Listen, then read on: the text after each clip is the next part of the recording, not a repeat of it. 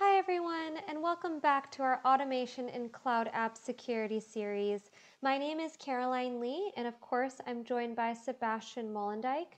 We're both program managers within our Cloud and AI Security Customer Experience team. If it's your first time tuning in on this series, definitely go check out our last couple of videos. This is where we showcase how to use our integrations between MCAS and Power Automate to configure flow templates for our most advanced use cases. So today we're going to be focusing on the remove malicious inbox forwarding rule template.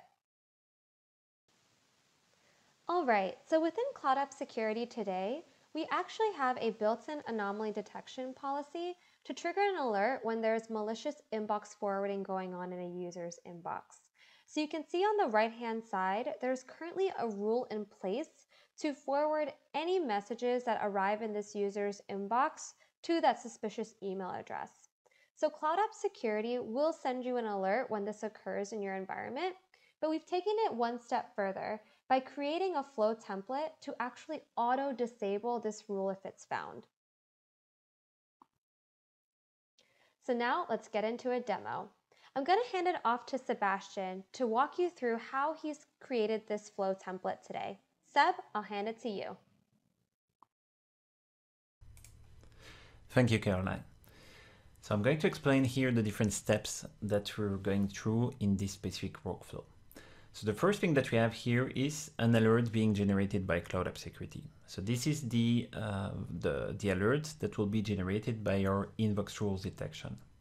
The next thing that I do is to initialize two variables, one containing your Cloud App Security tenant URL and the next one is to use the API token value that you generated using the Cloud App Security portal. After that, I'm going to use the compromised entity information coming from my alert. So basically it's going to be the user principal name to call Microsoft Graph and obtain from Azure Active Directory more details on the user, like the email address, uh, the, and a few other uh, object properties. And the next operation that I'm doing is getting the user manager information from Office 365 to be able to reuse that information later when I'm going to send an email to the user in the user manager explaining the action that we automatically took. The next action is calling the Cloud App Security API. So if we look at this specific action, you can see that I'm calling Cloud App Security API and I'm using the provider alert ID. This is the internal alert ID from Cloud App Security, obtained from the trigger at the beginning of the workflow. And what I'm doing here is actually calling the API to obtain more information than what we have by default in the alert in Power Automate. Let me pivot to my uh, Cloud App Security portal to show you exactly the details that you have first in the portal. So this is the alert that we're talking about, and you can see this uh, here by looking at uh, the details on the compromised user. And you can see also from Cloud App Security that there is a malicious inbox rule forwarding email to badguy at xyz.com. If I go now in Postman to have a look at the API calls uh, that, uh, that we have in the workflow, what you can see here is that when I'm collecting the details on this alert, so the alert that we have from Cloud App Security, we obtain different type information like the entities. And the entities can be of different type. They can be user, they can be IP addresses, but the one that we really care about is this one, the entities of type rule name. So rule name will show us the name of the different inbox rules that we'll uh, reuse later on when we're going to perform the next action. So this is why we're calling the MCAS API to obtain this value. So we know that the name of the malicious inbox rules is three dot, dot, dot, dot. Let's go back to Power Automate to have a look at the next steps. So after collecting that information, I'm parsing the JSON to reuse this value uh, a bit further, and I'm filtering the array to have only the entities of type rule name that we just discussed about when we were looking at Postman. The next thing that we're doing is calling Microsoft API so we're calling graph and we're going to search in the user mailbox for an inbox rules that has the name matching what we obtain from the get MCAS alerts action. So this specific call, if I go back to Postman, is going to look like this. So I'm going to call my graph and I'm going to search for the for the rule that matches dot dot dot.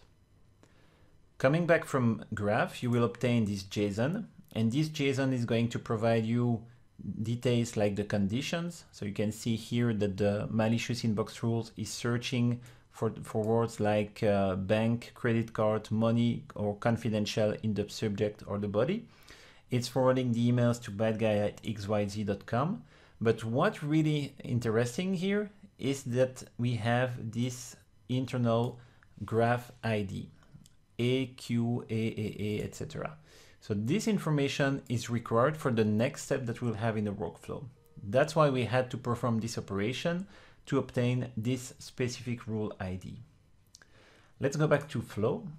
And from here, you can see that after calling the API to get the inbox rule ID, we have a condition. So if the rule was found, so this is what we have here. So if the size of the answer is uh, greater than zero. So it means that we obtained some answer. If there is nothing to return, we are not going to do any action. And this will occur only if someone like you or another administrator dis dis uh, removed sorry, the rule from the user mailbox. But if the rule is still there, what we're going to do is to disable the inbox rule uh, we're going to call Microsoft Graph API. And you can see that here, this time, we're not searching for a specific rule details. We're going to patch the rule using the ID that we obtained before and changing the value of the property is enabled to false. So basically, we're just disabling the inbox rule in the user mailbox. The next step is to resolve the alert in Cloud App Security and providing a resolution command as resolved using Microsoft Flow inbox rules disabled, and sending an email to the user and the user manager to let them know that we applied automatically a remediation action and disabling this inbox rule. We also provide here the details of the inbox rule, so the body action that you see here, to let them know exactly what we had in this rule. In case this was a false positive, at least your user and the user manager knows what the value was. And because we didn't remove the rule, but just disabled it, they can easily re-enable this rule. Back to you, Caroline, for the demo now. Awesome. Thanks, Seb. So now I'm going to walk you guys through how to actually test this flow and what it would look like from the end user perspective. So right now I'm logged in as Julian Isla and I'm going to show you my current Outlook settings. So under rules, you can see that I have a rule that's been created to forward any messages to the suspicious email address. So now I'm going to kick off the flow that Seb just walked you through. So I'm going to test this using our last run data. So let's test this out. And you'll see check marks as it goes through each step in the flow process and it's done. So if I go back to Julian's mailbox, we can see that we got an email. So we receive an email from our admin that was sent to both Julian and his manager, Jeff, indicating that there was a malicious inbox rule that had been disabled. If we look back into the Outlook settings, we can see that the rule has been disabled here as well. Now let's take a look at what we would see in Cloud App Security. So here I filtered the alerts to the suspicious inbox forwarding alert. And I'm going to click on this one. And we can see at the top that this alert has been resolved due to the flow that we created specifically to disable these inbox rules.